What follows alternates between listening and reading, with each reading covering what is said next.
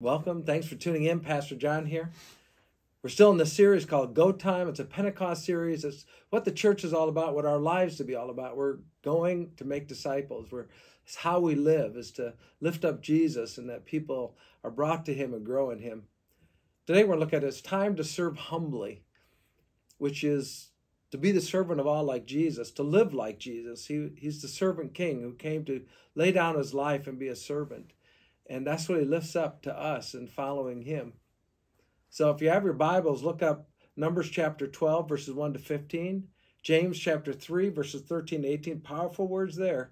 And then our gospel reading for today, Mark chapter 9, verse 30 to 37. Jesus lifts up a little child and talks about welcoming children is how we serve humbly. So get ready for a powerful message. I know this one's for you. All right. It's still go time. Go, go, go, go, go, go, go. Go team. Come on. We're on a team. We're on the Jesus team. So we got to go, got to go, got to go, got to go, got to go. Knute Rockne, come on, come on, come on, come on. We got a game to play, a fight to fight. There's people who need a victory in their life. It's what the Go Time's all about. And in the Go Time series, we're in the fourth quarter. Okay, I'm going to use a football analogy again. But here's the deal I believe there's going to be an overtime and an overtime and an overtime and an overtime because you see, God is not slow in keeping his promise because he doesn't want anyone to perish. So he keeps prolonging the time for people to come in. So there's go time and go time. Today it's this it's time to serve humbly, low, in humility. We all need to see is that these two things are key when it comes to sharing Jesus with the world. It's got to be these two things humility and to serve, and to serve in humility. This is what people need to hear about Jesus, and from Jesus about Jesus from us, and it's what they also need to see. They need to see Jesus in us. Because this is really what Jesus looks like. Jesus is a servant king. He's a humble king. He's the King of kings and the Lord of lords, the, the first and the last, the Alpha and the Omega, the beginning and the end, the Creator. He's the everything of everything, and yet He came down to this earth to do two things He came to serve, and He came to save. Matthew chapter 20, Jesus tells his disciples, Whoever wants to become great among you must be your servant, and whoever wants to be first must be your slave just as the Son of Man did not come to be served, but to serve, and to give his life as a ransom for many, to save. He came to serve, and he came to save.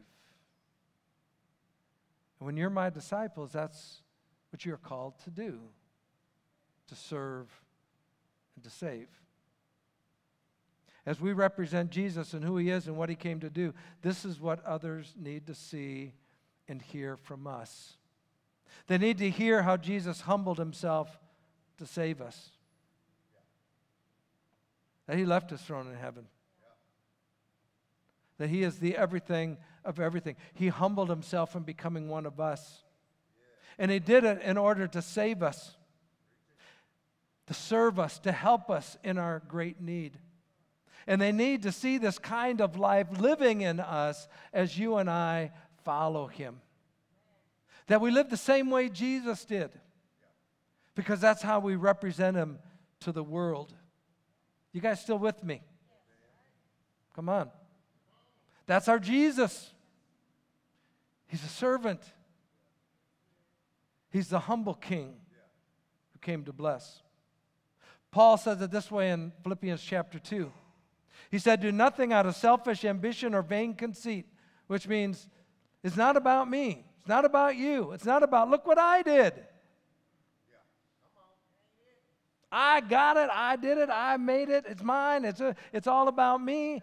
He says, Do nothing out of selfish ambition or vain conceit, but in humility, consider others better than yourself. You put them up, their needs, their considerations Each one of you should not only look to your own interests, but also to the interests of others. How can I serve you? How can I help you? How can I bless you? Your attitude, how you think, what comes out of your house, heart that speaks out of your mouth, your attitude should be the same as that of Christ Jesus, who, being in very nature God, that's who he is, did not consider equality with God something to be grasped or to hold on to. This is who I am. But he made himself nothing, nothing. Taking the form of a servant, being made in human likeness, and being found in appearance as a man, he humbled himself.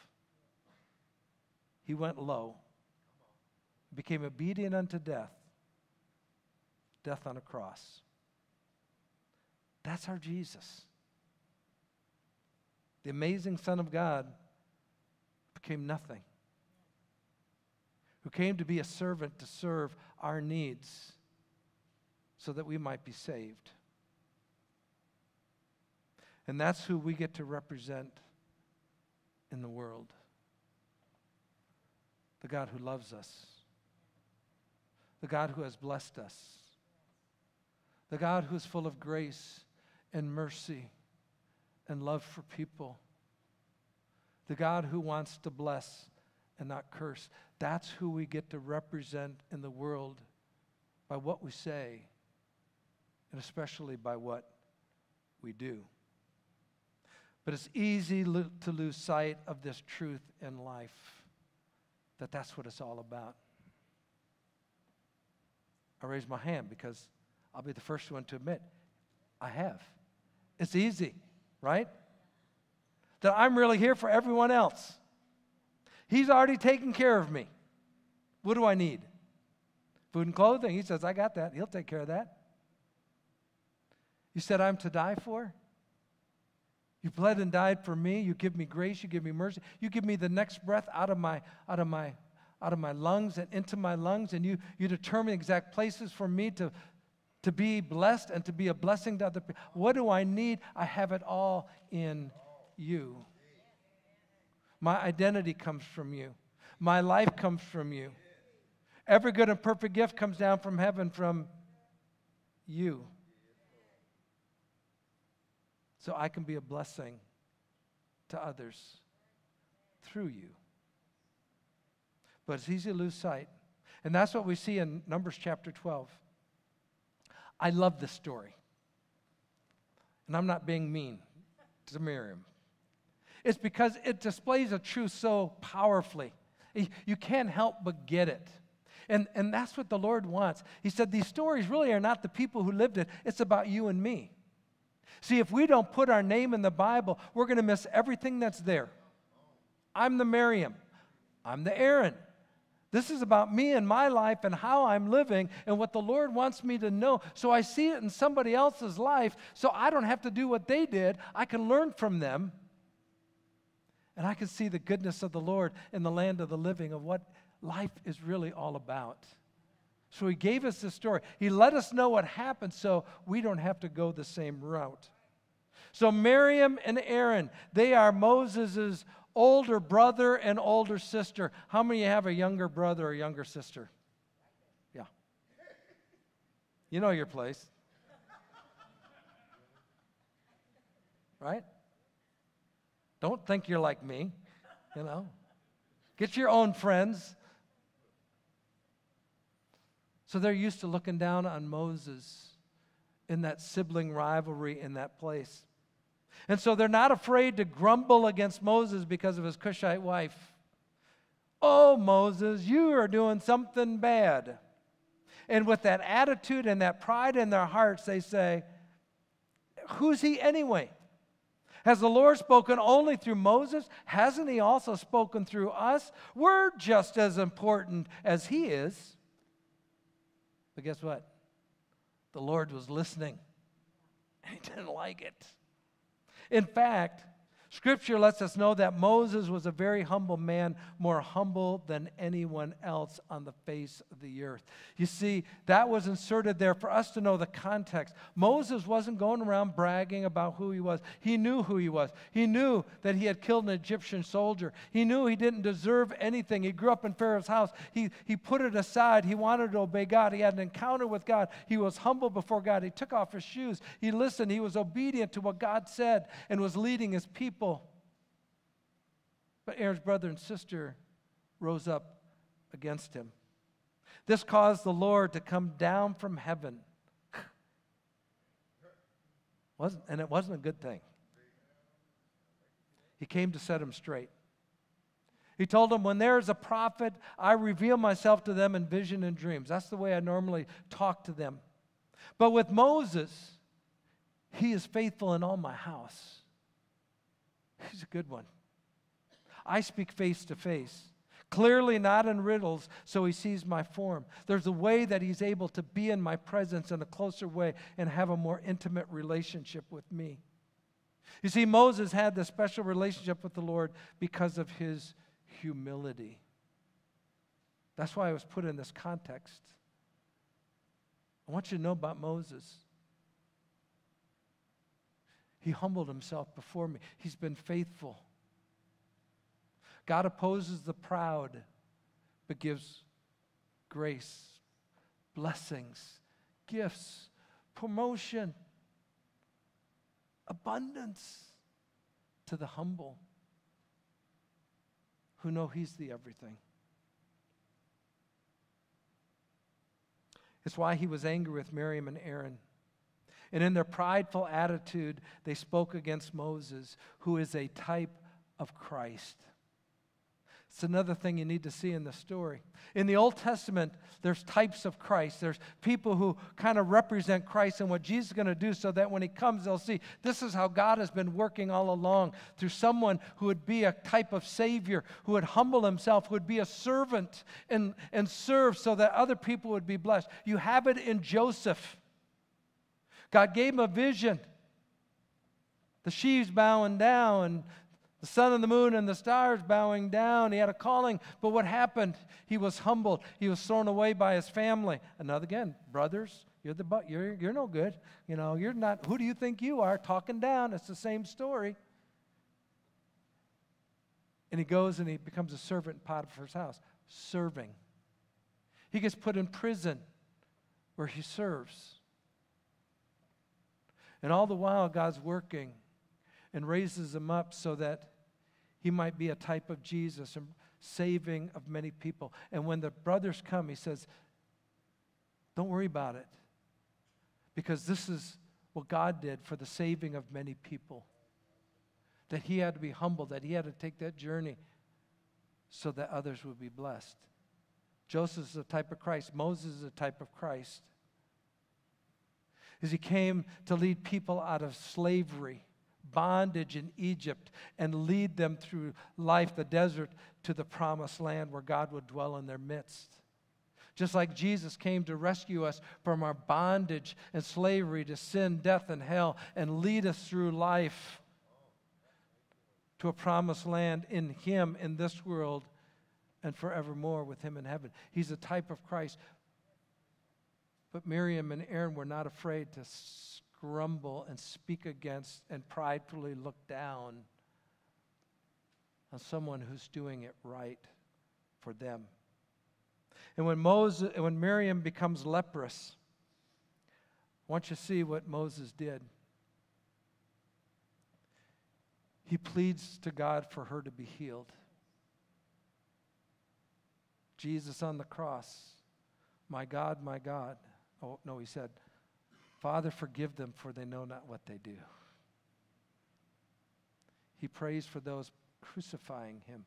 He's a type of Christ. It's that humility that's able to see, I am here to serve and to bless. I am not here to judge. I am not here to put people down. I'm not here to grumble about anyone. I'm here to bless people so that they are lifted up, to think more highly of what they need in their life than I do of my own because I already have it and I've been blessed and I get to live this way, representing Jesus to the world as a type of Christ for other people all around me all the time.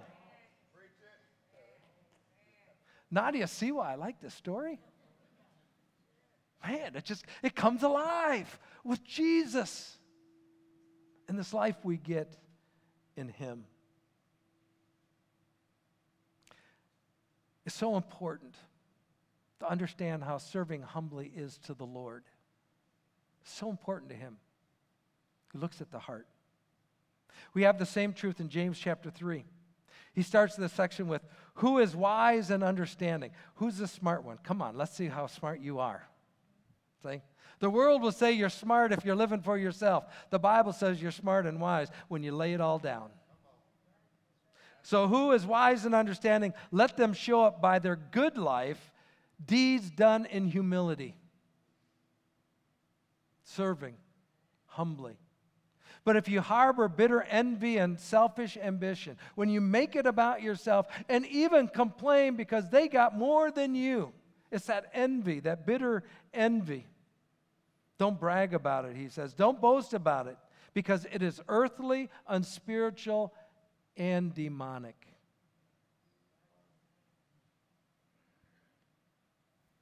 What did Satan say? It's all about me. I want the glory. I don't want to serve you. I want people to serve me. You see, he shows the pattern of what heaven's like and what hell is like, what, what God is like and what the devil is like. He's setting it apart. There's two ways that this is done God's way or his way. So he goes on to say, Oh, where you find envy and selfish ambition, there you'll find disorder and every evil practice. It just gets worse and worse. But wisdom from heaven, when you're really smart, is first of all pure. Because He's pure. Pure is holy. It's right every time. Then peace loving. I don't want to be in chunk with people. I want it to be peaceful because He's the Prince of Peace. He came to bring peace considerate. I consider your needs. Submissive, I will su- submit myself to help. Full of mercy and good fruit. Mercy is, I have mercy. Good fruit is, I serve and I bless you. Impartial, not showing favor, and sincere. Peacemakers who sow in peace reap a harvest of righteousness. This is the abundant life. I want no one to miss this. Do you know what the abundant life is? I just live to bless everyone else. You know why? I got so much blessing in me, I can't handle it. He's been pouring it out. Not worldly blessing, not earthly, not demonic, but godly, holy, pure, right. A heart that's been filled with His grace and His presence and His love that just keeps spilling out and, and the way I get to bless people, talk to people, lift them up, serve them, and help them on their journey in life because I see they have a need and God has sent me to represent Him as a type of Christ in the world to bless them. It's what serving humbly is all about. It's why in Mark chapter 9, as he makes his way to Jerusalem for the last time, you got to understand the context. Right before this, he had just come down from the mountain, and the disciples couldn't drive out the demon. And they were arguing with the Pharisees and the teachers of the law about. Jesus What's going on here? And he finds out and he, he casts out the demon. So this is right after that. He's going to Jerusalem. It says Jesus is using this time to teach his disciples. He wanted to be with them because he's running out of time. He's saying, I got to get them ready to go. They're not ready to go. They just showed it with the demon and, and the arguing with the teachers of the law. So he wants to teach them more about how to live serving humbly. And he first tells them this He says, This is what I'm going to do. I'm here to serve humbly. The Son of Man is going to be delivered into the hands of men. They will kill him, and after three days he will rise. He is coming to lay down his life, to be obedient unto death, taking the form of a servant to serve all of us in our greatest needs. He who was first became last and the servant of all. And they didn't want to hear it. They didn't get it, and I think they didn't want to hear it. You ever find yourself kind of changing the subject when it's something you don't want to hear? You ever find those other thoughts come into your mind when it's about really doing the right thing? You see, the disciples knew this He's our rabbi. We're following our rabbi to become like him. And if my rabbi is going to go and lay down his life and die on a cross, I didn't know that's what it was going to be. I don't think I want to know any more about it. Na na na na na na na na na na na. They don't even ask a question. So when they get to Capernaum, where their hometown is, and settle in, Jesus asks them, What were you arguing about on the road? He's noticing their behavior. See, that's what people notice. They notice our behavior how we act, the words that come out of our mouth. See, they had argued with the teachers of the law before this because they couldn't drive out demons, and now they're arguing among themselves about who's the greatest. All they're doing is arguing, arguing, arguing. You know anybody who likes to argue? Do you know what gets done with arguing? Nothing. I don't know anyone who's ever been argued into the Christian faith. If you, you find somebody, let me know because there may be a first, but I've never ever seen someone argued into the Christian faith because it's an invitation. Come to me. I did this for you, and it's for you. Do you want it? It's not about arguing. And it's not very humble when you're arguing. So Jesus tells them anyone who wants to be first must be the very last and servant of all. You got to understand this concept of the kingdom. It's about serving, blessing, helping, all the good things that I came to bring that I entrust to you, and you get to hand it out. I tell people, I get the front row seat of what God does. I'm just the pass through. He, I'm like the conveyor belt. It's his stuff. It's not mine. I didn't save anybody, but he gets to pour it out. He gets to bless. Nickels, dimes, and quarters, they're not mine. They came from him. I get to pass them out. I brought nothing in. I take nothing out. I get to be the pass through to bring glory to his name and to see people get blessed and lifted up and helped, set free. Whoever wants to be first must be the very last and the servant of all. I'm just going to say, I know how people think. Maybe some of you, but hey, is it okay if I don't want to be first? If I want to be like in the middle, if I, I just want to get a C minus. Teachers, do you know anybody who lives that way? I just want to get a C minus. I don't really want to do the work. I don't want nothing. I just want to sit here and just do my time and get through, and you got to promote me so I have this easy life. Jesus knows our heart. Why would no anyone not want to be first in his eyes? For what he's done for us. It's not about achieving, it's about a desire to be what he is calling us to be. It's what Jesus did. He was first, did become the servant of all, the very last. And then he showed them what it looked like. He took a little child in his arms and said, Whoever welcomes one of these little children in my name welcomes me. And whoever welcomes me does not welcome me, but the one who sent me. You see, on the one hand, little children, they need help, right? Watching children is like one of the hardest jobs in the world. Where did they go? Where did they do? Don't touch that. Don't touch that. What is that I smell? Oh no. Where are the diapers? They can't help themselves. We live in a world of people who can't help themselves. They need help. That's why he lifts up a little child. A little child needs help. And they need someone to serve and to help them. Else their life is misery. And they don't make it. Also, little children were looked down upon because the men are important and the women are second class, and children, we hardly notice them. They're only to be seen but not heard. They're no big deal. You know what's going on in that room? The Father saying, oh, I love these children. Jesus is saying, Oh, let them come to me. And the workers who are back there, they're getting it all. Because that's how He works.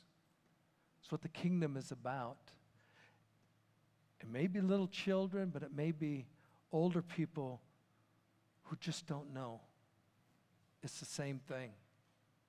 When we welcome them, when we love them, when we bless them, when we encourage them, when we help them to see what they don't see and to understand what they can't understand on their own, and the Spirit of God works because we're there to serve them Here's what a lot of people will do, and they need to hear it in a way they can hear it. Because sometimes we try to go through the front door, we pound on it. If only you were good enough, you would listen to what I'm saying. little do we know that behind that door, someone has been hurt by a lot of salesmen who's coming. That's why they say no solicitation on this property. They've been burned, they've been hurt, They've been manipulated. And they just don't trust people. That's why when you come a servant and you say, how, how do they need to receive it? You ask God. And this is what God says bake an apple pie and go around to the back and just kind of go like that. And they'll come out because it's safe. You're actually coming with a gift. You're not force feeding them and treating them like dirt. You're lifting them up higher than you. And say, tell them you're to die for. And you need to know the one who's done it for you, who wants you. Jesus saying you're, you're to love, you're to welcome, you're to serve those who are helpless as he did. And as we do, we're really doing it as unto him because we're obeying what he says. So the take home is when I live to serve humbly, others will see a faith that is real. Do you think people need to see a faith that's real? I think they're crying out for it. They're just doing it in a way we don't get it. But they're really saying for Christians, I want to see something that's real. I want to see that what you actually believe is how you're living that actually makes a difference in your life. Because when we look like everyone else, they're going to say, I don't need that. I already got it. You're just like me. But when they see us laying it down, generous, kind, humble, grateful, helpful, as Jesus did for us, they become open and they go, What do you have? I want some of that. It looks good to my eyes. That looks real. That genuine loving care. They'll see a faith that's real because they'll see what Jesus looks like in us. Secondly, when I live to serve humbly, others will experience a love that is real. You, guess what? People can tell when it's real. They can say all the words, but they can tell. They can tell by how much time you give them. This is love. Jesus didn't say, I'm only coming for three days and I'm out of here. He came for 30 years and then three more. And he stayed after for get them ready. They see a love that's real, that's, that genuinely cares, that helps in a way that helps. I'll tell a story Brazil, quick story. I've seen it, I've seen it here, but I saw it there. There were men who wanted impartation. They, wanted, they want to live for God, but they're, I could tell they're stuck. And what I spend most of my time doing with these men is I'd give them a hug and I'd hold on and I'd release the Father's love over them. Because that's something they've never experienced in their life. They didn't even know that's what they needed.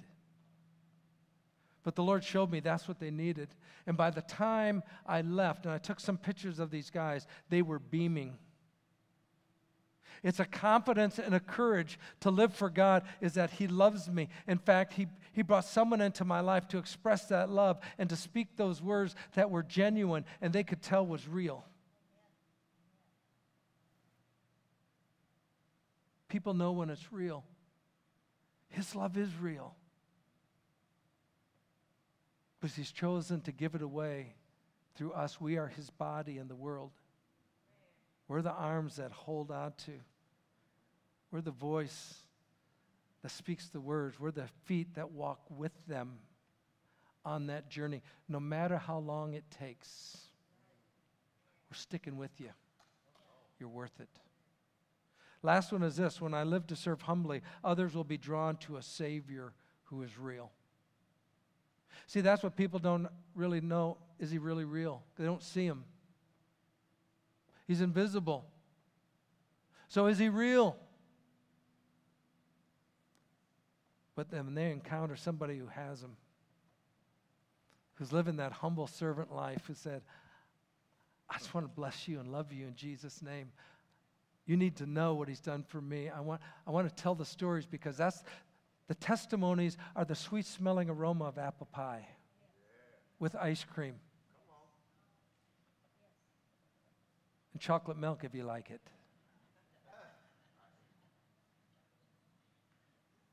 It's the sweet smelling aroma of what Christ does. And if he does it for that person, maybe he would do it for me.